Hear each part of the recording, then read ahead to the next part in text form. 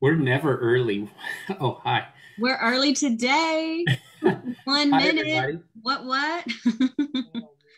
Hello, everybody. Coming to you live one minute early for the first time in Peace of Christ history ever, virtual or in person. For real. No joke. remember, remember when we'd meet in person and we just, so we'd always remember something like right when it was supposed to start, just some like chaotic thing we needed to do or forgot about or something adrenaline rush.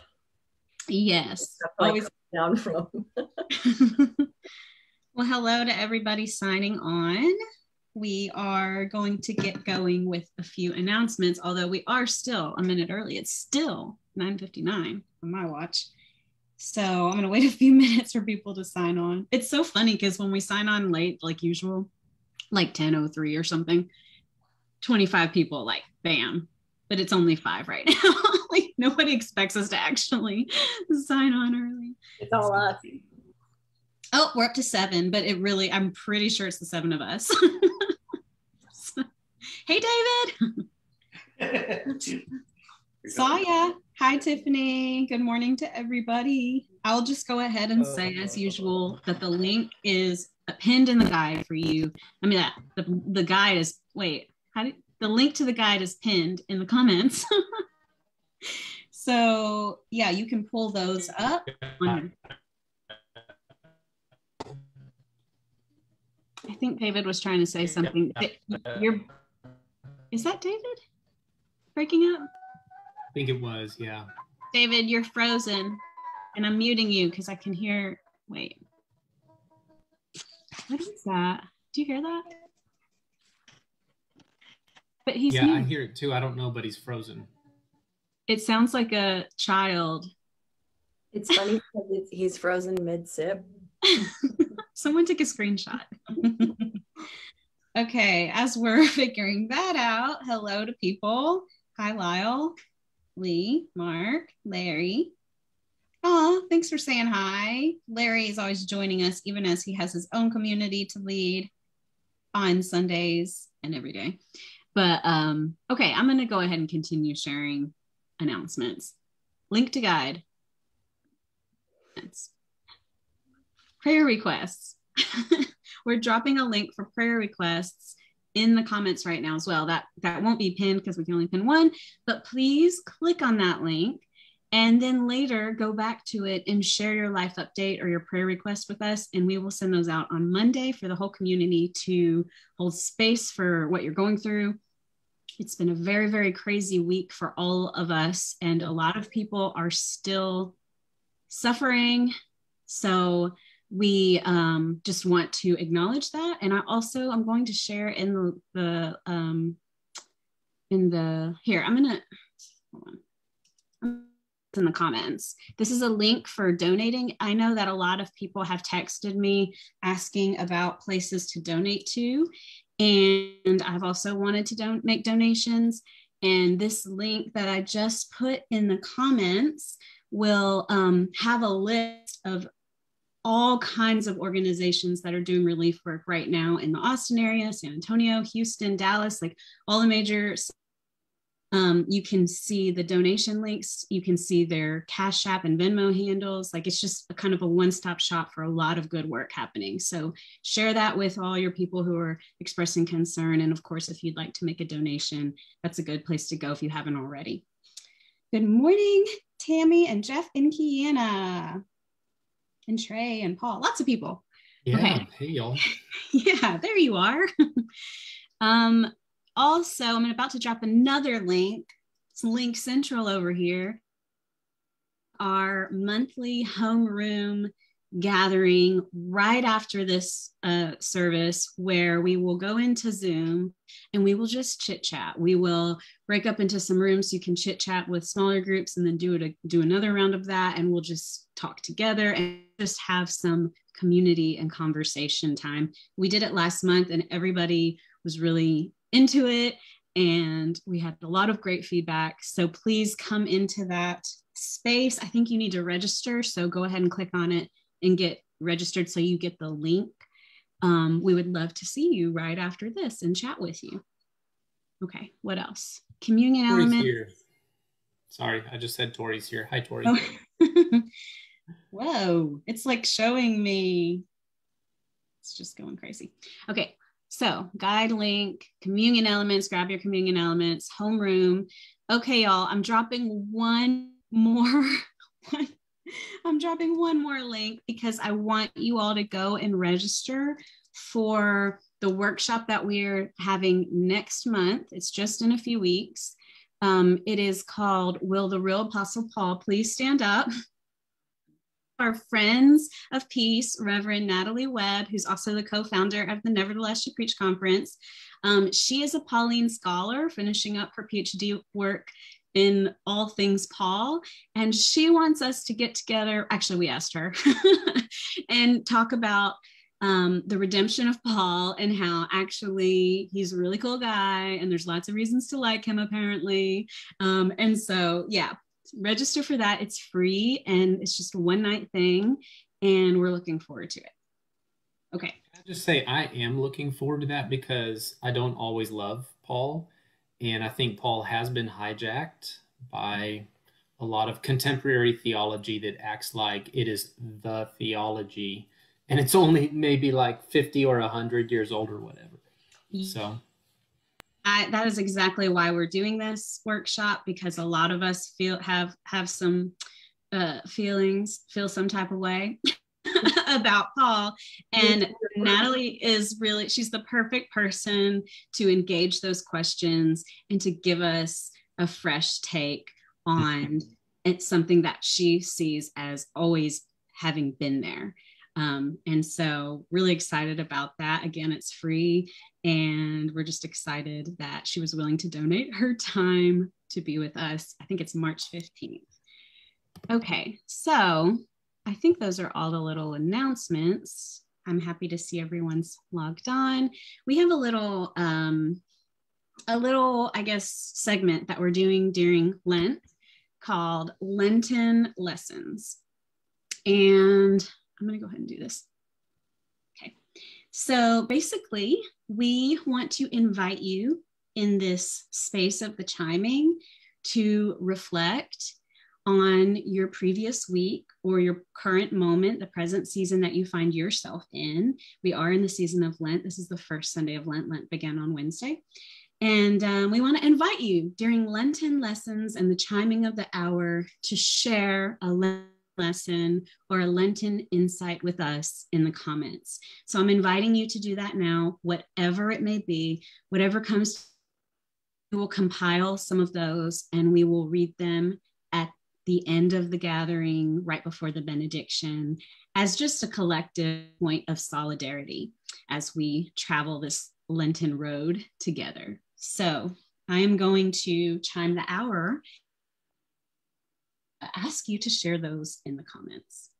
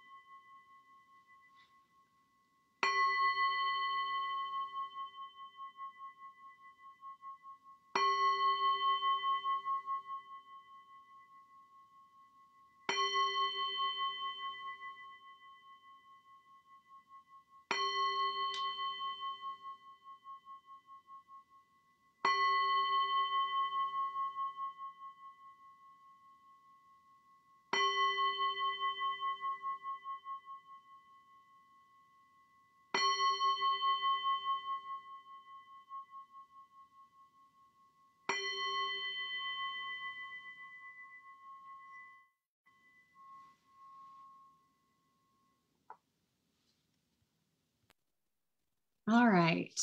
Uh, please continue to share in the comments. I'm not sure if what's going on there, but please feel free to share as we continue into our space for uh, the kids moment, the kids message.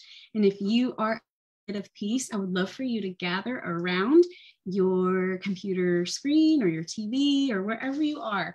Gather around because we have a little lesson just for you today.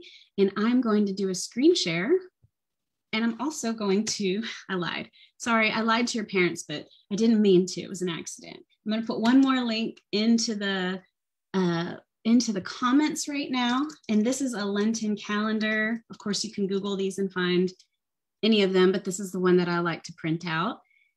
And I'm also going to show it to you on the screen. So let me get that screen share going real quick. And let's talk a minute today about the season. Okay, let me make sure you can see it. Is it going to pop up? Can y'all see it? Okay, there we go. All right, so you may or may not know that today is the first Sunday in a very, very special season in the church. It is called the season of Lent. And we started Lent on Wednesday, and Lent is a 40 day journey to Easter Sunday. It's a really special season because everybody decides together to acknowledge it. It's only special because we make it special. And so, one way you can observe Lent and learn about it is by following a Lenten calendar. I like to print this my daughter Cozy, and we will color in each day, like every morning or whenever we think about it, we'll color in the space with a crayon and we'll kind of watch the journey unfold as we head to Easter. And um, if you, the reason I like this calendar is because if you don't have a printer at home, you can very easily draw your own. So this one shows you how easy it is to just sort of draw a squiggle line, draw a path, and write in the numbers. But I wanted to tell you just a teeny little bit about Lent in case you didn't already know. During Lent, we make space in our lives to experience God in a deeper way. So, even though God is always already with us, Lent is a special time where we all decide together to make extra space to think about God every day. And this thinking about God and making space for God every day helps us prepare for how wonderful Easter is. I know a lot of you love Easter because you probably get candy. You probably get to have Easter egg hunts. Maybe you even get a new outfit or something to dress up all cutesy in. I don't know. But Easter can be a really fun time because it's an exciting holiday. And Lent is really, really important because it helps us remember why Easter is so important. We'll talk about Easter later. Today, we're going to just talk about Lent. You may notice that even though there are 40 days in Lent, you can see here on the calendar that the Sundays aren't counted in those 40 days. You can see the first Sunday, and then you go a little further and you can see the second and the third. There are six Sundays in Lent, and we don't count those as a part of our 40 days because the church likes to remember Easter every single Sunday. We call these Sundays little Easters. They're little moments where we remember Jesus, we remember Jesus rising again, and we pause from our Lenten fasting, which is another way to talk about Lent, and we think about Easter for a moment. And so this is a little bit of a break, but it helps us to stay focused on our ultimate goal, which is counting down to Easter and making space for God along the way. So, if any of you kids have any questions, you can ask your parents, or you can ask your parents to ask me or Matthew or Fran. We would love to answer your questions. But the main thing is that I would love for you to have a calendar. So, can you ask your uh, family to help you print a calendar or to help you draw a calendar. And then we can check in with each other on Sundays and we can see the calendar colored in, and you can think about the ways each day that you're making space for God. So I'm so excited to have this journey with you. It's just the beginning, but I know Easter will be here before we know it.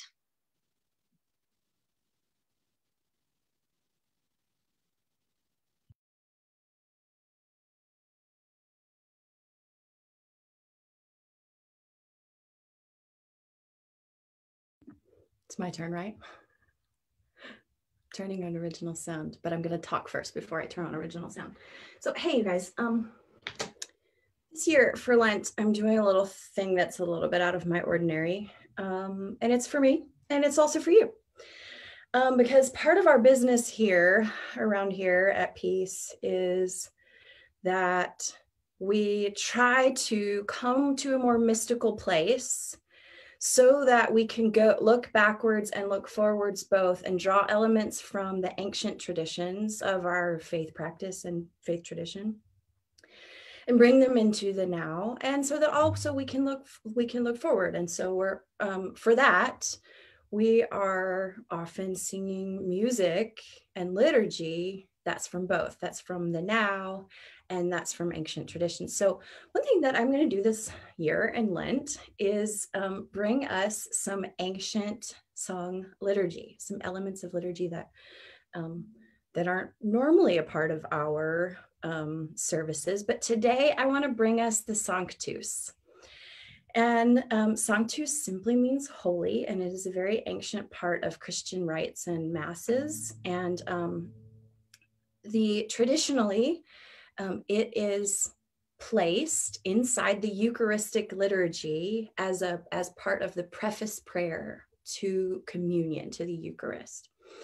And um, for a while, I um, worked for a local Episcopalian church playing music for their evening services every Sunday. And I would play this particular version of the Sanctus every week. It is sung every week.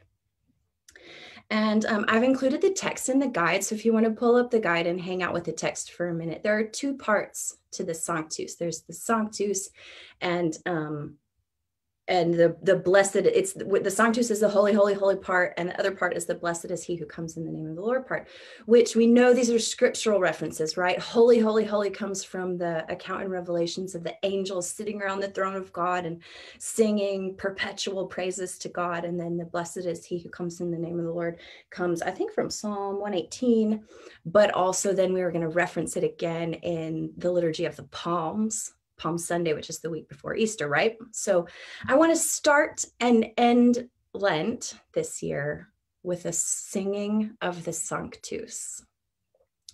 And so here's what I'm going to do I'm going to sing it one time through. It's pretty simple, this arrangement is. Um, and then I'm going to sing it a second time through in hopes that maybe you've caught on a bit and that you're able to follow along with the, the, the lyrics. The these are just an English, particular English translation of the traditional Latin um, text. So I hope that sounds as fun for you as it does for me um, that's my business. I'm into this this thing, this melding ancient and new traditions. And here's a here's a little caveat that I just want to offer. Um, I'm pretty convinced that you know, looking at the life of Christ, that his purpose in appearing on the earth wasn't like to get us to worship him. I think, and this is me, Okay, my theological take is that he wanted us to wake up to the presence of the kingdom of God and the community of heaven, and to the fact that we have the we have access to the divine and all the divine resources, in, both within us and in all the earth. So if you have if you have deconstructed and you have a little bit of trouble with this like um worship very traditional worshipy language I invite you to do a reframe because remember, we're coming into a more mystic place, a place where we can draw things in and integrate them in fresh ways that serve us and that are useful to us. So I invite you, if you have trouble with it, to reframe this as an affirmation. As an affirmation of both the divine as we experience the divine in the world and the divine as the divine exists and lives and thrives within our very being. Okay? So if you need that little reframe, I invite you to just do that little quick switch. So here we go. We're going to sing this on the Sanctus. Um, please sing along once you catch the drift of it. And again, we'll sing it again on Palm Sunday later in, in Lent. So here it is.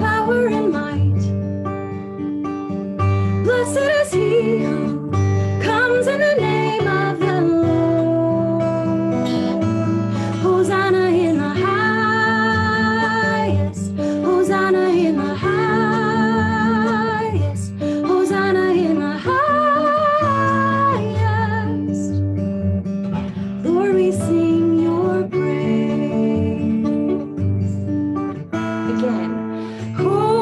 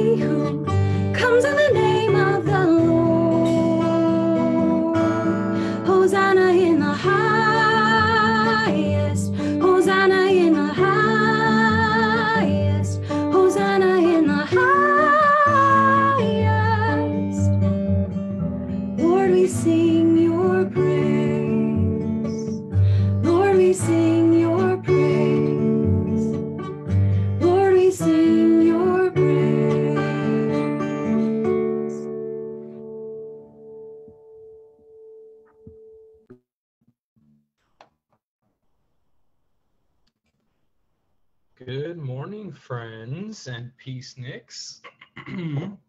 I have been having a little bit of trouble with my internet this morning, so I hope you can all hear and see me. Okay, good. That's exciting. I also hope that you have not heard or seen a word of what has been going on. Um, so I am doing the uh, service this morning, and uh, it's one of my favorite things to do. It's one of my when, when we started coming to peace, it was one of my favorite elements of the service. Um, I grew up Catholic and, and doing uh, communion every week, and went to a Southern Baptist church uh, where we did it maybe a couple times a year. Uh, ended up working in a church where we actually did it once a month, and I loved that, enjoyed it, and back to a church where we did it, you know, maybe a couple times a year, and, and then finding myself at, at peace where um, not only was it a regular practice, but it was an intentional practice, and and being able to uh, participate in that. The the the few times I was able to before we uh, went digital was was really uh, refreshing for me. And the thing that stuck out to me most about the way we practice communion was that we do use the language and the tradition of an open table. And coming from places where that was not done and, and uh, where that was a large reason that we were looking for a new faith community uh, was was very important to me. And, and then this week with the just absolute insanity of what has gone on with weather and power and water uh, we probably like some of you uh, had had food that went bad uh, you know from our fridge or our freezer. We ended up you know saving some of it in the snow and things like that uh, you know and, and you know we've got renter's insurance. And so we we put some put put a put a claim in for that getting some getting some cash to get some of that food replaced. It's exciting stuff. But when I, when i think about the open table that we share and i think about the people all over the state and, and and not just our state there's there's plenty of people all over that are that are experiencing similar conditions that don't or won't have food and the ex, the the expectation that I, I have a child coming to me. I see you, baby. Thank you so much. Yeah, go go play with Bubba Sissy. Um, I did know that Hillary would be working when I agreed to do this, and it normally works out. Today, my children are very unique. I apologize. Um,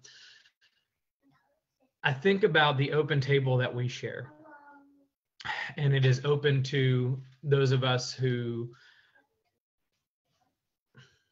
maybe identify or or have a more traditional or what we would consider normal standing in place in our culture and in our society but that also means that it's open to uh, our brothers and sisters and our she's he's and theys and people who identify in in different um, genders and sexualities and people from interfaith communities and, and people from uh, different socioeconomic realities within our community. And it's a table that, that Christ brings to us to provide that that food that gives life and brings life. My my element today is going to be a, a, peanut and this this GT's uh, Mystic Mango kombucha, and I enjoy kombucha. It, it, makes me feel nice in my tummy. Um, but what I think about is the people this morning uh, around me who, who may not be participating in a communion ritual, but but who also may not have food. Um, and and that that that thought has been with me all week and have followed and, and tried to promote several of the mutual aid organizations uh, that that um, that, I, that I've seen in that post and, and others um, and and so I, I don't know where I'm going. I'm going to stop rambling now. Um, I didn't write anything down. I, I thought about this just in my head and, and wanted to talk about the open table and how much I appreciate that being a part of the Peace of Christ community. So if you will join me in the liturgy of communion, it is in your worship guide. Uh, I'll read the the uh, the the italicized and, and you'll read the bold text with me. And then I'll share a communion prayer we will partake in our elements. So uh, if you want to grab those, I would do that. Um, and then I will close our uh, liturgy of communion. So uh, if you will speak with me, the Lord be with you. And also, and also with you. Lift up our hearts. We, we lift them up to the Lord. Lord. Let us give thanks to the Lord our God. It, it is, is right, right, to give our thanks. Thanks and praise. The table of bread is now made ready. It is the table of company with Jesus and all who love him. It is the table of sharing with the poor of the world, with whom Jesus identified himself. It is the table of communion with the earth, in which Christ became incarnate. So come to this table, you who have much faith and you who would like to have more, and you who have been here often, and you who have not been here for a long time, and you who have tried to follow Jesus, and you who have failed, come. It is Christ who invites us to meet him here. Loving God through your goodness, we have these elements to offer, which have come from the earth and human hands have made.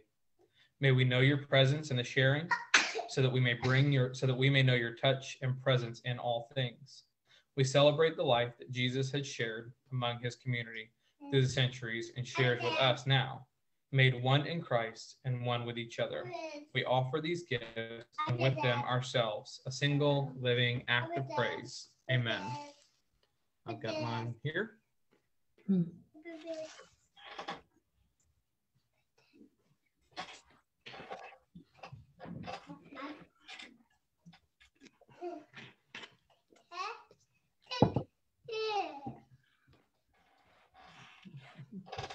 And if you will close the liturgy of communion with me, still in your worship guide.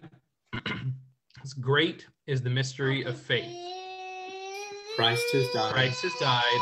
Christ, Christ is risen. Christ, Christ, Christ come again. Come again. Amen. I am so sorry. It's okay.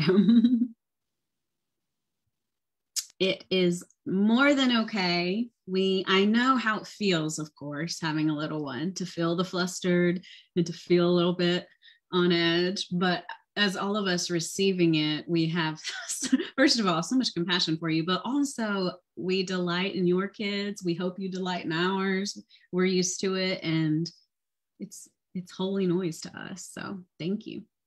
Thank you for sharing. I'm so excited to move into a deeper look. I can't ever decide if communion or deeper look is my favorite. I love them both so much. But um, excited to introduce you to one of our wise women of our congregation, one of our um, church mamas, if you will. this is Joyce. And Joyce, I would love it if you could introduce yourself and tell us a little bit about you.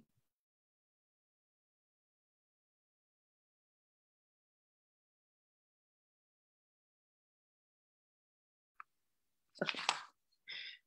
Um, well, I am a retired teacher. I taught speech, language arts, reading, journalism.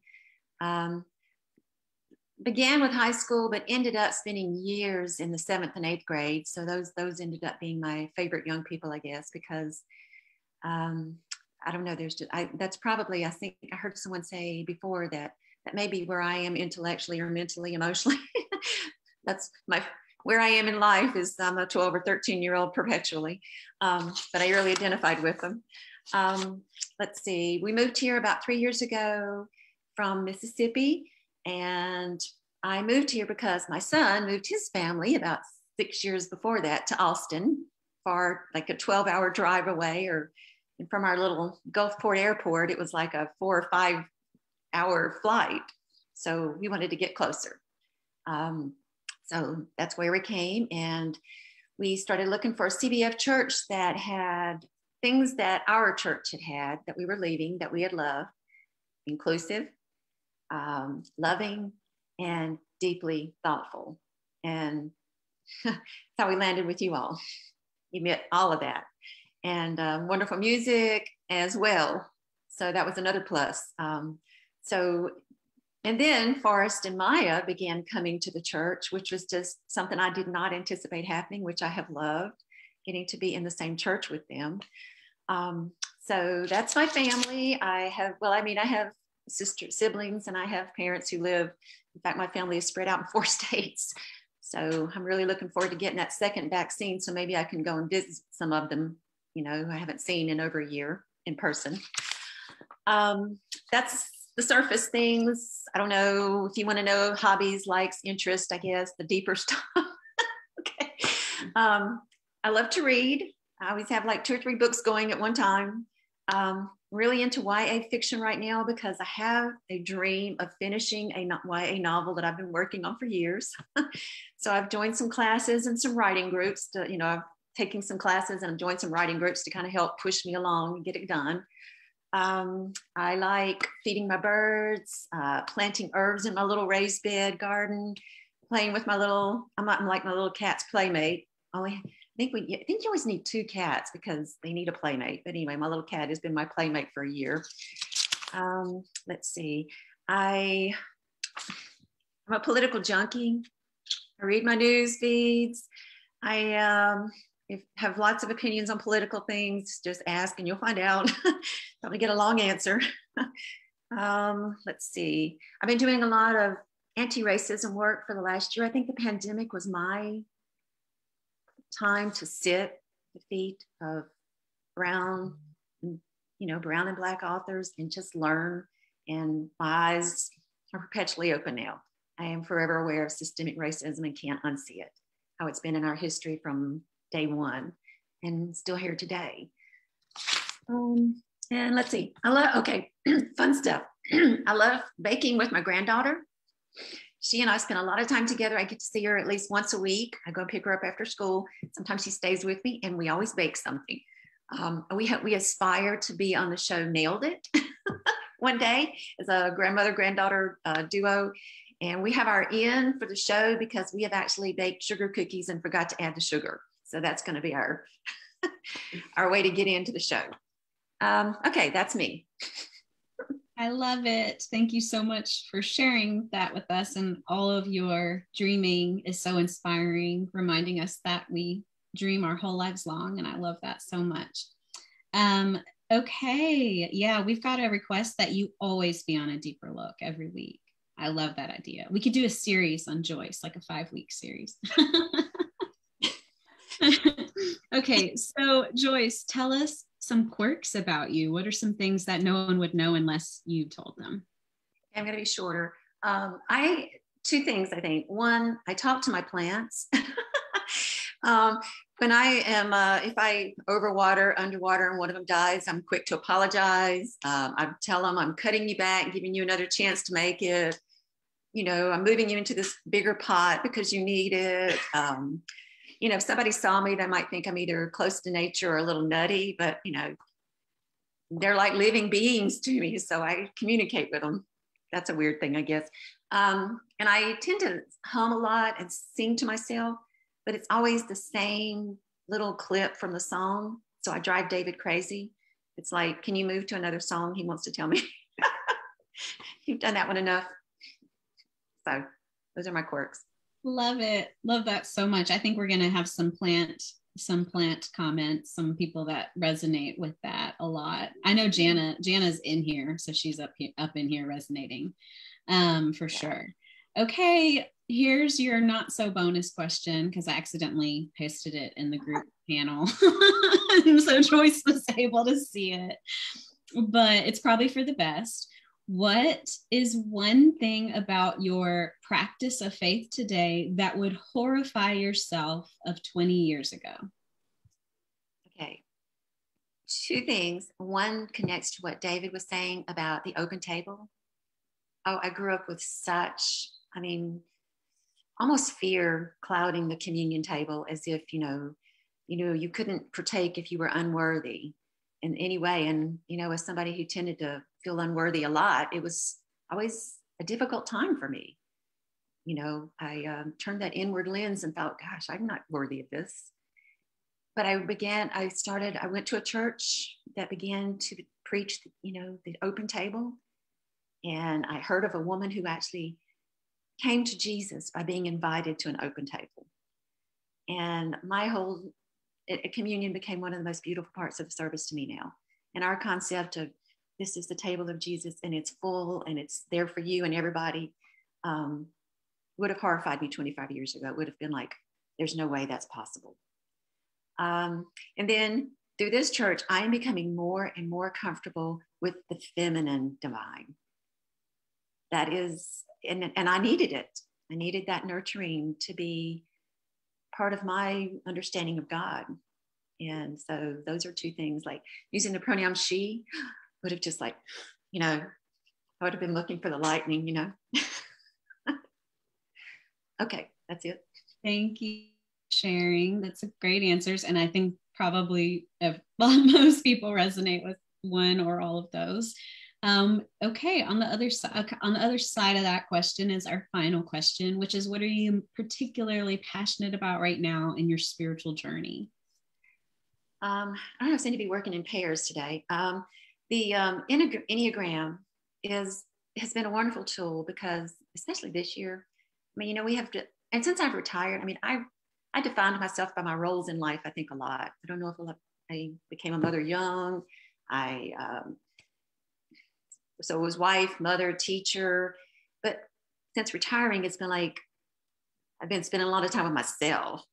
And sometimes it's not comfortable. You know, I can look at myself and see the flaws, the regrets, the but the Enneagram 2 is teaching me there is a shadow side, there is a healthy side, there is you're striving towards growth, towards a, a more healthy you. You know, and Father Rohr's teachings have taught me get to know that shadow self, be comfortable with it, give grace to that self. Um, so I think that is it's a it's a good tool for me to learn more about myself and to help myself grow.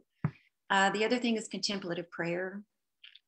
Um, I began hearing about this, and now if I can spend 20 minutes with the same words going through my mind and just listening, that is, um, I get past all of my angst, all of my preconceived notions of God, and I'm there in feels like I'm in the presence. It's very healing. And so those are two things that I think are working for me right now and helping me out. So. Thank you, Joyce. So much wisdom in your own journey and your lessons. You're always sharing with us. And I just want to say, like one one time you said something to me I never forgot. I even wrote it down. And uh, it, I think it was a quote directly from you. So you you said to me, "Perfection is the enemy of the good and just fine." I guess this is another bonus question. Sorry. Do you want to say anything about that? Because that that really helped me, and then I wrote it down, and it's just so so so good. Well, I, I, wasn't the first to say it. I know, I, I, but you know, I did add the just fine because I mean, honestly, you can tear yourself, you can tie yourself into knots and get nothing done and nothing accomplished if you're thinking perfection only and just get yourself out there and be have grace for yourself be just and just fine. Amazingly works so many times. Yes love it so much. And everyone has been blessed by your words today. Thank you for being vulnerable with us and sharing uh, about you. And uh, we'll just go ahead and give it to jana now. We'll move on. Thank you. I have to follow joyce. Gosh that's a hard task uh, if you'll join me today for the reading, um, we're reading from Isaiah 58. I'm going to be reading from the uh, Common English Bible, the Women's Bible. Um, Isaiah 58, 1 through 5. Shout loudly, do not hold back, raise your voice like a trumpet. Announce to my people their crime, to the house of Jacob their sins. They seek me day after day, desiring knowledge of my ways, like a nation that acted righteously, that didn't abandon their God. They ask me for righteous judgments, wanting to be close to God. Why do we fast? And don't you see? Why afflict ourselves if you don't notice? Yet on your fast day, you do whatever you want and oppress all of your workers. You quarrel and brawl, and then you fast. You hit each other violently with your fist. You shouldn't fast if you're doing as you are doing today, if you want to make your voice heard on high. Is this the kind of fast I choose? A day of self affliction, of bending one's head like a reed, and then lying down in mourning and clothing in ashes? Is this what you call a fast, a day acceptable to the Lord? We hear the voice of God through these words. Thanks be to God. Um, First of all, really, I don't record this part. You know, the way Janet just read that, I just want to say, like, what is this? A fast for ants? Okay. Secondly, I'm just so glad to be with you all. Um, it feels good to to see you. It feels our irreverence in the Facebook comments feels good. For some reason, that's comforting to me, and it feels like our community is together in some ways and um, and I'm actually missing seeing some people on on uh, engaging us on there because I know that they're still struggling to recover. Uh, they're fighting through the recovery of this past week. So um, so I, I miss I miss you all. Um, so it, we have begun Lent. Really, you can start recording now if you haven't yet. We have begun uh, Lent, and this past week was Ash Wednesday, which marks the beginning of the Lenten season. And as we observe Lent in our various ways uh, for these next 40 days or so, our sermons are speaking from the theme of showing up, meaning we are exploring what it means to show up to life, to show up in, in the just fine, as Mama Joyce says, to show up to the realities of our world, to bring our full, beautiful selves into relationship with others and bring the full weight of our beauty and who we are, the full weight of that to bear on the world around us. And Lent is often understood as a time to remove things from your life, but we're offering it's also a time to show up and be present to your world. The little bit of church that I participated in while I was growing up. It was mostly in Pentecostal and evangelical context here and there. I didn't do much church. It just wasn't part of, of my growing up. So I didn't observe Lent, didn't really even know what it was until I was part of this community. Uh, I'm a learner alongside all of you.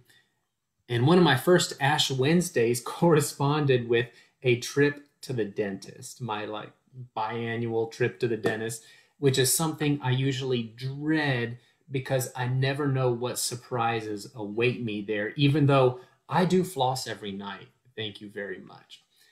But on that Ash Wednesday at the dentist, they're scraping and they're grinding on my teeth. And I know you all hate to, if you don't hate to hear this, you're crazy. Uh, it served as a good reminder for my own mortality and shortcomings. And, and, and as I was trying to figure out what Lent was, that kind of felt appropriate. This kind of memento remember your own death. But as time goes on, I'm moving away from self flagellation or dentist induced flagellation for Lent. And I'm thinking more and more about the additive practices that can help me show up for others. Jana just read the first half of our of our text where where God says, "What is this a a fast for ants?" And basically what's going on is the people are asking God, "Why why is it that we keep reaching out to you with piety and prayers and fasting?" And the response that we keep getting back from you, God, is new number, who dis? And so the prophet explains to them what true fasting is. Let me read that for you. Beginning in verse 6, picking up where Jana left off, the prophet writes, Is this not the kind of fasting that I have chosen, says God, to loose the chains of injustice, to untie the cords of the yoke, to set the oppressed free, and to break every yoke? Is it not to share your food with the hungry and to provide the poor wanderer with shelter? When you see the naked, to put clothes on them and not to turn away from your own fellow human, your neighbor, your own flesh and blood. And if you do that, then your light will break forth like the dawn, and your healing will quickly appear. Then your righteousness will go before you, and the glory of the Lord will guard you in all directions. Then you will call, and I will answer the phone. You will cry for help, and I will say, Here I am. If you do away with the yoke of oppression, with the pointing finger and the malicious talk, and if you spend yourselves on behalf of the hungry and you satisfy the needs of the oppressed, then your light will rise in the darkness, and your night will become like the noonday. The Lord will guide you always, will satisfy your needs in a sun scorched land, and will strengthen your frame. You will be like a well watered garden, like a spring whose waters never fail. Your people will rebuild the ancient ruins. Listen to this infrastructure plan. Your people will rebuild the ancient ruins and will raise up the age old foundations. You will be called repairer of broken walls, restorer of streets with dwellings. We hear the voice of God in the reading of these beautiful words. Thanks be to God. Now, first, if you're looking for a Lenten practice, you know, for this season, something to add to your life, you might just consider memorizing this bit of the Bible. It is really fantastic right there. You can do it. It's 12 verses. You got 40 days. Easy peasy lemon squeezy. You got this. But if you need some help understanding just how fantastic this bit of the Bible is, uh, think about the context. Let me just explain the context for a minute. This part of the book of Isaiah was written to the residents of Jerusalem, that famous city, that age-old city, who were they were returning from forced deportations. They were returning from this forced exile. They were returning from this forced government relocation program. And like us in many ways, this speaks to us today, they were at this key point in their history where they were trying to rebuild their society, their social, political, religious, and economic systems. 60 years prior to this, Nebuchadnezzar, the king of Babylon, he laid siege to and he conquered Jerusalem because the king of Jerusalem flip flopped from being on Team Babylon to being on Team Egypt. These were the two superpowers of the day. And if, if you know your Hebrew Bible history, you know Jerusalem must have been in a tough spot if they went over to Team Egypt, right? You know the story of slavery in Egypt, the book of Exodus, the plagues, all of that. And Jerusalem said, We want to be on that team. So the, Bab- the Babylonians didn't like this, and in response, they, they came in and they completely destroyed Jerusalem, just to the ground. The city, the temple, the walls, everything. And those who survived went through a series of deportations over the next decade, just waves of the Babylonians coming back and taking away more people, taking away more people, and scattering them all over.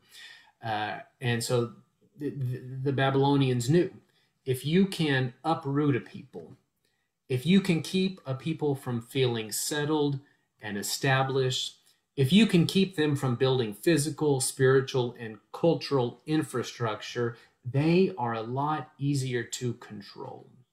And I think about this a lot when I hear people being told or when I hear them say that they have to be uprooted from their communities if they want to be successful in life, I think, oh my goodness, no. You're missing out on so much. So, 60 years later, the Babylonians then they were conquered by the Persians, and the new administration told the Jews, You can go back to Jerusalem now. Uh, in reality, they probably thought this would promote empire stability. Uh, empire is going to empire, it's what it does. So some of the Jews went back to Jerusalem. Now, in my mind, here's where this gets really interesting. Can you imagine the social and the economic dynamics of all this? Maybe some of those who were allowed to stay behind who didn't get forcibly removed from the land maybe they they came in and they filled that vacuum of power and commerce and they found a way to flourish while others suffered. Maybe some of them who stayed behind had stolen land and houses after the violent deportations just like people did when jews were taken away during the holocaust. And just like poland to this day continues to be the only eu country that has not passed a law to help Holocaust survivors reclaim the stolen property, the residents who stayed behind in Jerusalem may have been unwilling or unsure of how to equitably return stolen land and houses.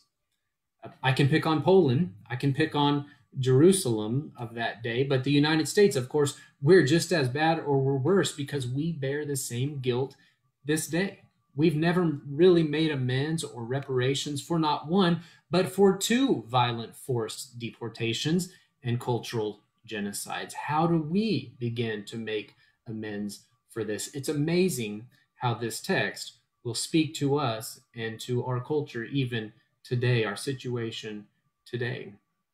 Maybe some of those returning to Jerusalem, they were returning in utter poverty, having only the clothes on their backs, while Others did really well in exile and they acquired wealth or prestige in Babylon. You know the story probably of the four young Jewish men, Daniel, Shadrach, Meshach, and Abednego, and how they were chosen to be a part of the king's court.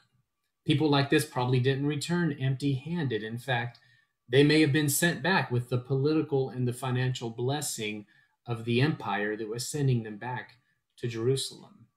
Imagine all that and Imagine all the innumerable other social and economic dynamics that were present these, as these exiles are coming back to rebuild their society. Imagine in the air the feelings of hope and grief and guilt, anger and excitement. Imagine the uncertainty. How long until the next empire comes along and destroys our infrastructure and dismantles our community? How long until that happens? What do we do with those who have suffered the most because of these empires? How do we live as a faithful community in a world where the powers that be, they don't want us forming a critical mass of showing up. They don't want us forming a body. They don't want us forming a community of empowerment, of life giving power to one another. These are the questions that they were probably wrestling with. And to be honest, these are perennial questions. These are the questions that apply to us today as well. And it could be said that they were in the midst of repairing the soul of their society. The soul of their society. we tend to think of soul in very individualistic terms, don't we? And and and we only think of individual souls and getting them saved, whatever that means. It usually means something about getting a person to say the right words, to believe the right things, and to behave, and then maybe one day they'll belong. But I like the definition of soul that the theologian Bruce Rogers Vaughn uses. I, I put it in your guide today. His definition of soul uh, is that soul is that fabric that embeds every one of us within all that is. Soul is our existence within the woven living web of all humanity and creation. This is soul.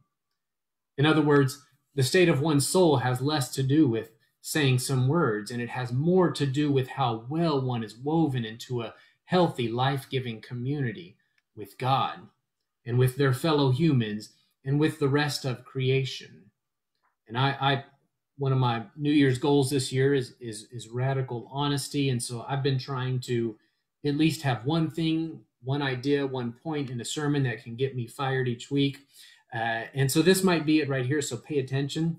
For me, the state of one's soul has less to do with keeping moral purity codes like don't drink whiskey and don't say cuss words and don't live in committed mutual relationships with people of the same sex and and you better say you believe this doctrine about the bible or the trinity or hell or whatever you know i, I don't think that stuff matters i don't care about your metaphysics about what you believe about hell or about the bible or about the trinity that stuff doesn't matter to me. The theologian Martin Luther said one of the definitions of sin was being in a state of being curved inward, which makes these forms of morality, in my mind, incredibly sinful because their focus is entirely on themselves. It's individually focused, it's curved inward morality. Hashtag irony which is why I find it helpful to think about the state of one's soul in more relational and communal terms. It has more to do with being a part of a community that promotes wholeness, that promotes physical, emotional, psychological, spiritual, relational, financial health. It has more to do with access to resources like clean water, healthcare, food, electricity, education in our text of Isaiah 58, God is confronting the people with this. You you say you're doing all the right spiritual things like fasting and praying, but you completely miss the point. You are inwardly curved. You are oblivious to the burdens of those around you. If you notice, the text keeps using this one word, repeating it again and again, and it's the word yoke. Y O K E, yoke. It's that that farm tool that you would put around an ox so it can pull something heavy. And in the Bible, it is the universal symbol of oppression. And and and and it's intended to have this shock factor and effect to it. It should make us go, why is a human wearing something that belongs on a farm animal as if they are a tool to be used or an object to be owned? And to this point, God says, this is real praying and fasting and real religion. Untie the cords of the yoke that you have put on your fellow humans. Set the oppressed free. Don't just untie the yoke. He says, break the yoke, break every chain of injustice, and then satisfy the needs of the oppressed. And then look what happens if you do all that that yoke removal. And I'm not making this up. I, I didn't I didn't choose this text at the last minute. Aurelian friend, no, I chose this text maybe a month ago to preach for today, but it says, if you will do that, then you will rebuild your society's infrastructure. Isn't that incredible? It says, you will rebuild the ancient ruins. You will raise up your foundations. You will be called repairer of broken walls, restorer of streets with dwellings. In other words, you will make your city and your home habitable once again. Here they are at the outset of rebuilding their society. And God says, if you really want to rebuild it, stop oppressing one another, and you will flourish. If you really want to rebuild your society, start by making sure that no one is treated like an animal or a commodity or expendable. If you really want to rebuild your society and get God's blessing on it, then make sure that the most vulnerable are not exploited and forgotten and oppressed as you build your systems and your infrastructure. This text could have just as easily been written to us today. You know, you know what we've been through this past week here in Texas. And this is a great place as we're thinking about Lent this year.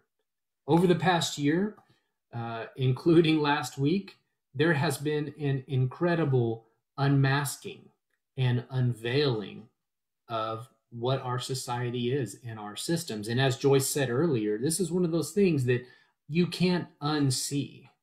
We have seen how so many in our society are wearing the yoke of debt and resource deprivation and financial insecurity and underemployment and incredibly expensive housing, healthcare, education, and childcare. We have seen the yoke of loneliness on one another. We have seen the yoke of despair.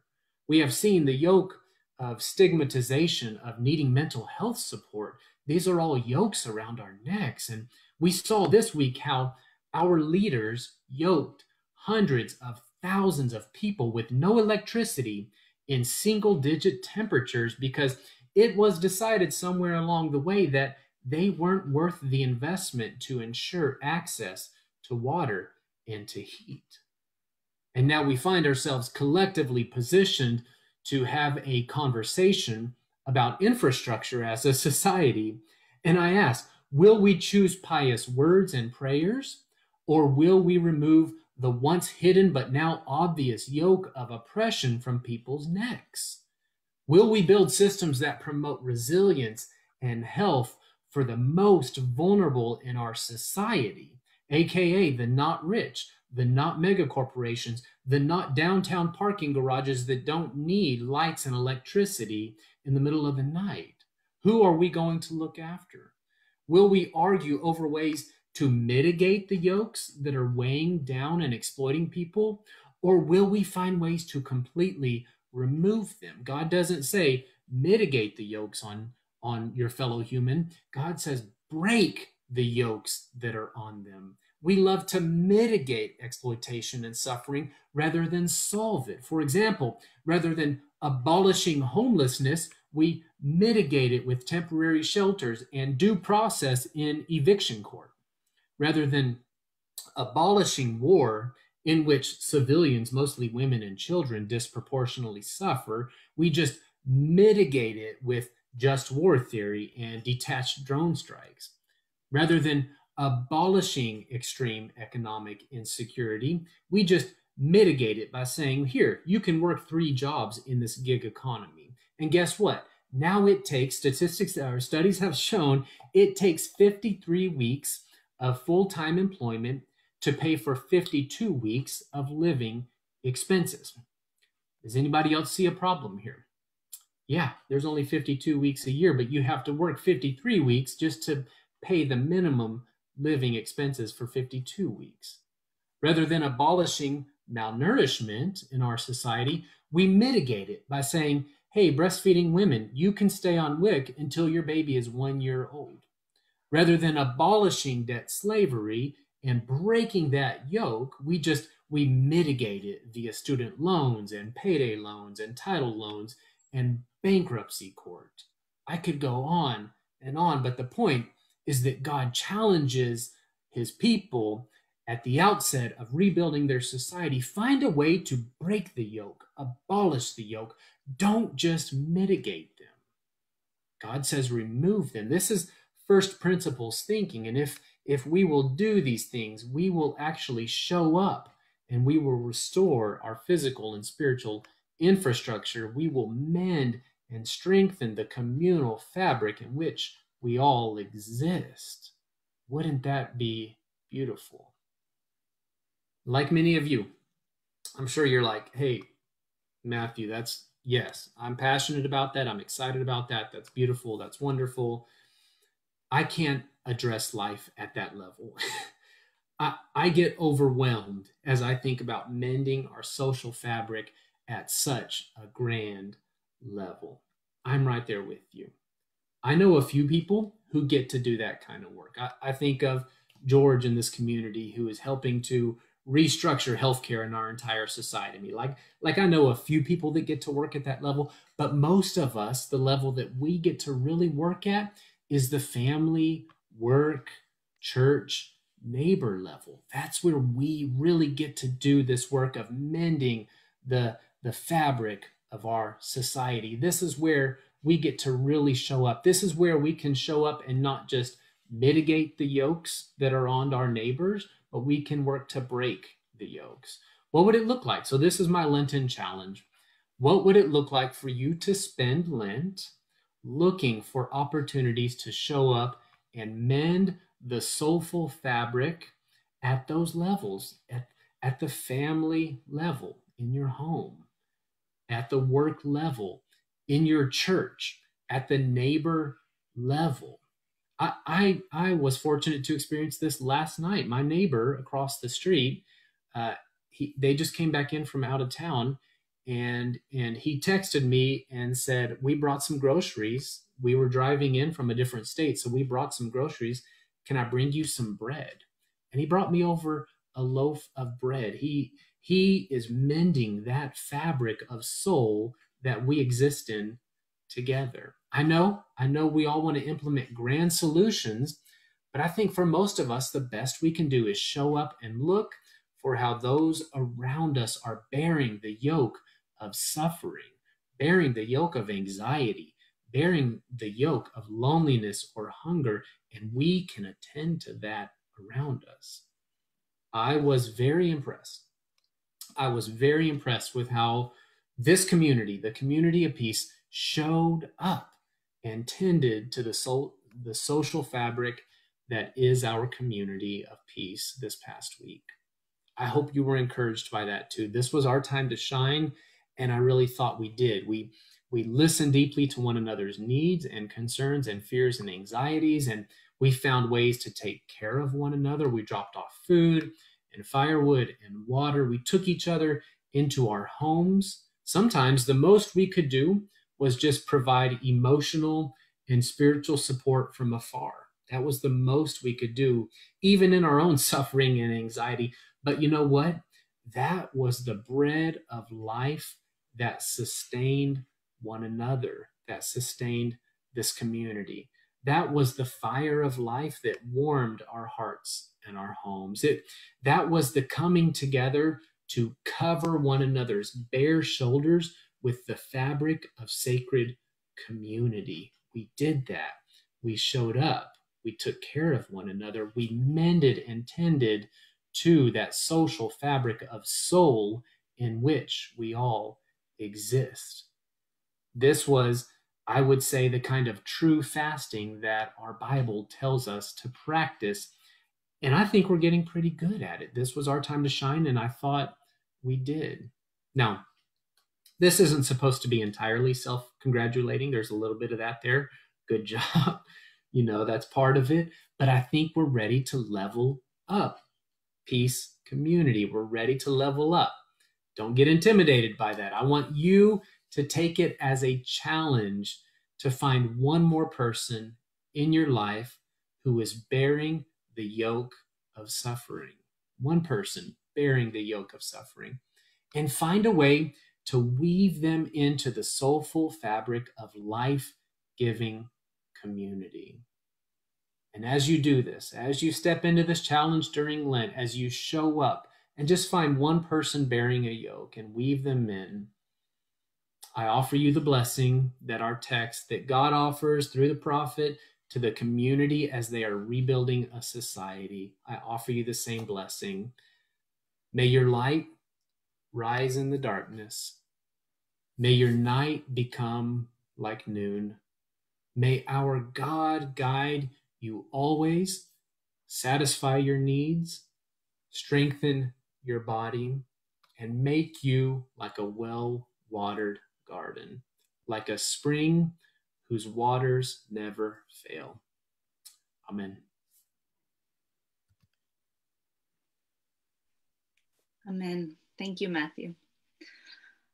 I'm Tracy Henneke, and I'm going to lead us in the litany in just a moment. But I'm I'm going to have to go back and listen to those words, Matthew. There were so many things in that message. Thank you for that. I think coming into a Lenten season, I've been processing a lot about what am I going to do internally, um, and I think that this is a good reminder that soul work is not just internal, um, and that it, there are so so many opportunities around us thinking about the last year the last week um, that we have to to come together. And and there's freedom in that for me that soul work is not only my own.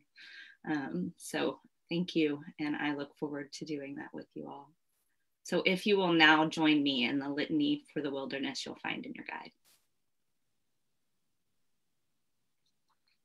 God as christ goes out into the wilderness to experience solitude, Experience solitude, to refrain from distraction, to be tempted to escape discomfort. to To be find- tempted to So we find ourselves at times in a similar place, whether we Whether we choose to go there or there or not. hear all the voices we rely on, whether we chose to go there or not are. To tell us what to do next. To To validate validate. to validate.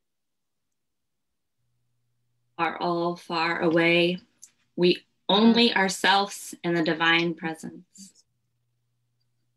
We are tempted to sidestep suffering. We are We're tempted to tempted to blame put our pain pain on other on people. other people. We are tempted to run away before the work is done. We are We're tempted tempted to numb numb ourselves ourselves outside- outside outside influences. But Christ has shown us the pathway Pathway. Pathway of our to our true true calling. is through the desert experience, through the Through lonely. the lonely places, We can only heal the world's suffering when we when have we have explored our own. Christ suffered once for all, For the for righteous. the righteous, righteous and the and unrighteous. unrighteous. and Christ offers to us this making of meaning so that we, that we may find our way way to joy. joy. Therefore, in the season of Lent, we devote ourselves self-examination to rituals of purification and cleansing, and to focus our attention on the essence of Christ. essence on the Christ essence of within us. In us. We ask for the help of all the angels and the support and presence of your spirit. your spirit in this work. Amen. Thank you, Tracy, and thank you, Matthew. As always, a very thoughtful and helpful word for our community in these times. I wanted to close with our benediction, and before I did that, with just a few of the Lenten responses that were shared. Um, we got a lot and we're kind of over on time, so I'm just going to share a few. But thank you so much to everybody. Please continue to think about where you are in this season of Lent so that, um, you know, next week you can continue to share with the community your process and your experience. Um, uh, Fran said this year in Lent, I'm fasting from a particular every week consistently since 2015, writing liturgy, giving my soil a chance to lie fallow and be renewed, in creative resilience. Thank you, Fran. Tammy said, what are we giving up and what are we taking away? I have given over. I am taking up peace, love, and harmony, mindfulness of the moment. Thank you, Tammy. Jana said, I am using this season as a time of integration, a time of letting things that have been churned and disrupted of the last year settle in, intentionally recognizing and normalizing the changes and growth that have occurred. Thank you, Jana. And finally, Twyla said, trying to let go of the idea of control over my emotions and surrendering them instead. And in the same vein, taking up the creative mind of Christ to guide to guide me my process and emotions and actions. Thank you so much. I'm going to read the benediction now. And of course, feel free to join me um, in homeroom right after this. The link is in the comments. You'll have to do a little register to get the link, but please come join us. We'll be in there until the noon hour. We Um, but feel free to join me now, leaders, uh, for the benediction. And if you're at home, you can participate as well through the guide. Lord, you are ascending God. You sent your word to create. You sent Christ to reveal. You sent your spirit to empower. You sent your church to proclaim. Send us, O God, to renew the earth. Lead us by your spirit and your word. As your people, we now go. By our love, we'll make you known. People of God, you are sent. Go in peace for peace.